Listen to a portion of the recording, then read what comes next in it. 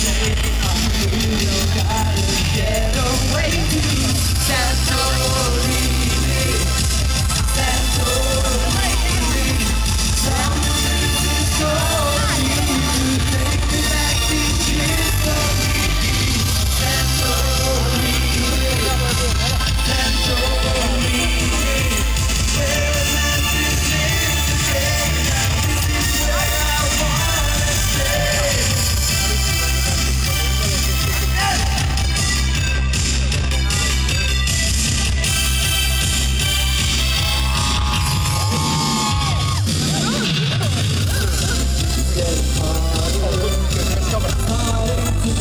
to me.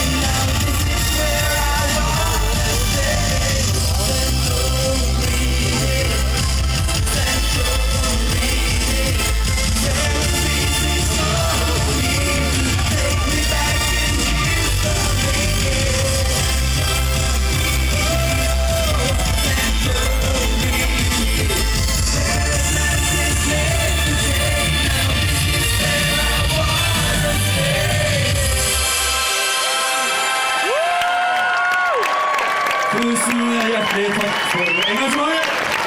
Takk for at dere Ja, det er jeg var uansett. Så det Ha det bra, da.